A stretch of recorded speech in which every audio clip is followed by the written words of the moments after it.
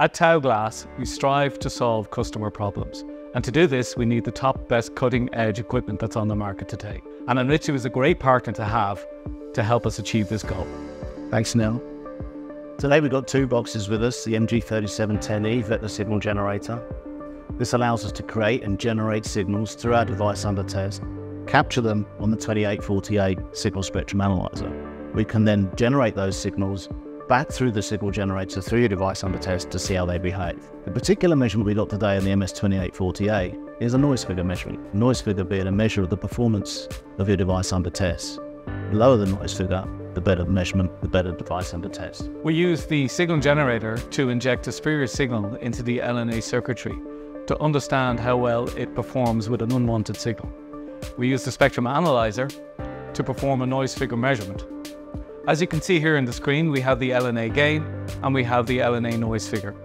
Anritsu was giving us great support in helping us set up these pieces of equipment, and their customer support is second to none. Let me introduce Anritsu MT8821C radio communication analyzer, which is essentially emulator of the mobile networks, supporting 2G, 3G, 4G, Cat-M1, and NB-IoT technologies. It even supports LTE Anchor for 5G non-standalone architecture. At Taoglas, we use the MT8821C for pre-certification OTA testing of our cellular products. This testing consists of TRP and TIS testing, which mimics certification testing in the US, where certification is a requirement. The key characteristics of the radio communication analyzer from Anritsu is ability to keep stable connection during the measurements. This pre-certification testing uh, allows us to resolve any problems in cellular products that we're testing. Typical problems that we see are antenna performance and integration, noise on the active PCB, and radio module configuration. Some other Anritsu products we use at Taoglas are this VNA, this Anritsu calibration kit, and this demo board.